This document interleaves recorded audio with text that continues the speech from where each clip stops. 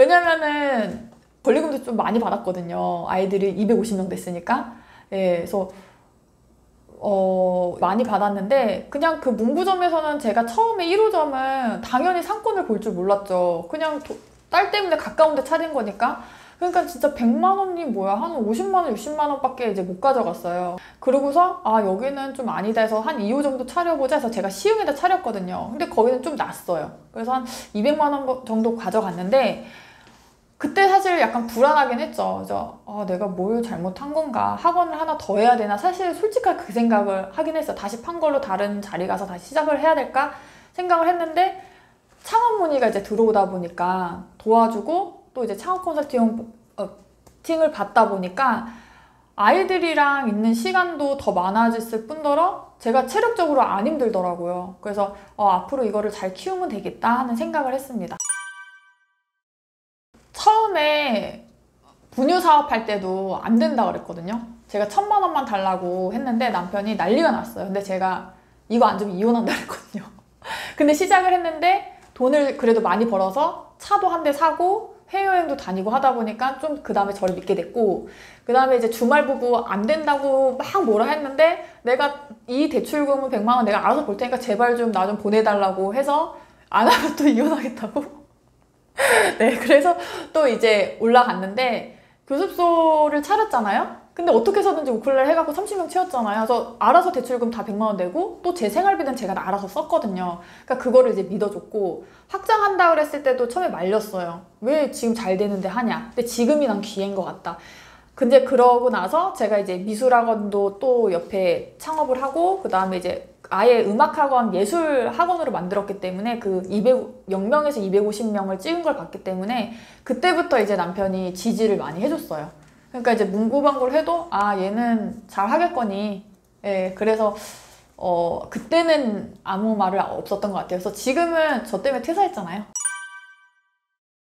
제가 학원의 시스템을 되게 잘 해놨잖아요. 그러니까 제가 매일은 아니지만 중간에 빠져도 이게 돌아갈 수 있게 해놨어요. 그러다 보니까 인수하겠다는 원장님들도 이러는 거예요. 원장님만 나가지고 그대로만 두고 갔으면 좋겠다. 선생님들 그렇게 해서 진짜 저만 나갔거든요. 근데 이제 아무도 저를 안 찾더라고요. 뭐 선생님 엄마들도 원장님 바뀌었는지 신경 안 써요. 왜냐면 선생님들이 워낙 잘해서 예, 그래서 했는데 선생님들도 잘 되셨어요. 지금 계속 일하시는 분도 계시고 어, 또 이제 결혼하셔갖고 이제 가신 분도 계시고 하니까 심지어 근데 저희 딸들 거기 학원 다니고 있어요. 아니 확신은 없었죠. 저도 지금 그 예비 창업자분들의 마음을 아는 아는 게 저, 다 저한테 전화하시면 첫 마디 이거예요. 사업이 처음이다. 저는 정말 아, 알아요. 왜냐면 돈이 없어서 창업을 하는 게 아니고 이게 마음이거든요. 근데 아까 돈을 그렇게 벌었어도 이게 제가 정, 그 무인 창업에 대해서 전문 분야가 아니기 때문에 자신이 없었던 건 마찬가지고 이걸 어떻게 해서든지 지금 돌아갈 길이 없잖아요. 그러니까 이걸 세워야 되겠다는 목표가 있어서 저는 어떻게 했냐면 구체적으로 했어요. 이번 달 한 달은 세개만 해야지. 제가 할 수 있는 영향. 이번 달은 네개만 해야지. 다섯 개만 해야지. 그러니까 하다 보니까 계속 올라가는 거예요. 그래서 제일 많이 했을 때가 한 달에 12개 해본 적 있어요. 문구방구를. 그러니까 아무래도 인건비죠. 그러니까 제가 예전에 학원을 했을 때는 그 8명의 선생님 인건비 너무 사실 부담됐거든요. 그러니까 월 천원 벌어도 뭐 순수익이었겠지만 많이 벌어도 인건비가 거의 천만 이상씩 나갔어요. 근데 이제 만약에 코로나 때문에 이게 너무 부담이 된 거죠. 그러니까 아무래도 인건비가 안 된다는 게 장점이고요. 이제 두 번째로는 또 장점은 뭐냐면 시간적 자유예요. 그러니까 정말 이번에 재밌었던 게 저희가 저번 주에 저희 기업 행사를 했거든요. 그래서 70여 분의 전국 그 저희 매장 사장님들이랑 파티를 했어요.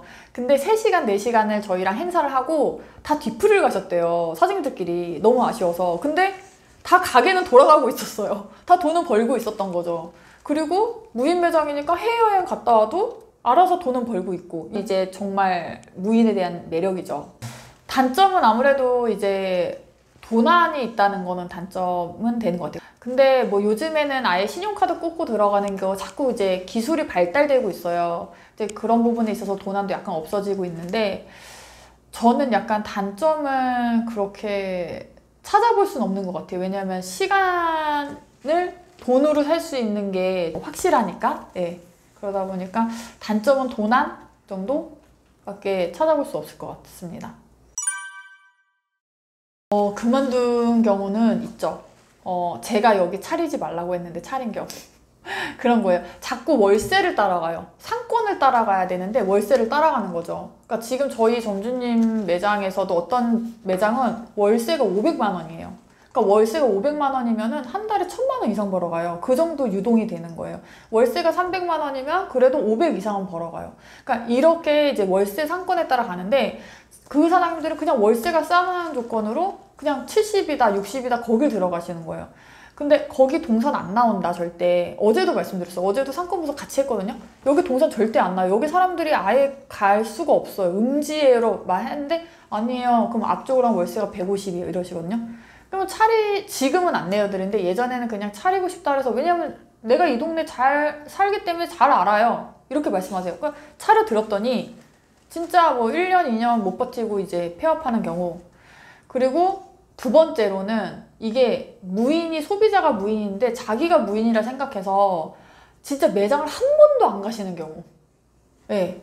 이제 그러다 보니까 이게 아 나랑 무인은 맞지 않아. 사실은 돈을 안, 안 벌리네. 이렇게 해서 폐업하는 경우는 지금 몇 분 계셨는데 이제는 하도 창업 상담을 많이 하다 보니까 상담을 할 때 이분이 폐업을 할 뿐인지 성장을 할 뿐인지 이제 저는 보여요. 마음가짐이 되게 다르거든요. 입지는 우선 세대수가 확보가 돼야 돼요. 그러니까 세대수. 어, 막 어저께 같은 경우 400, 400세대밖에 안 되는데 여기 문구점 들어간다?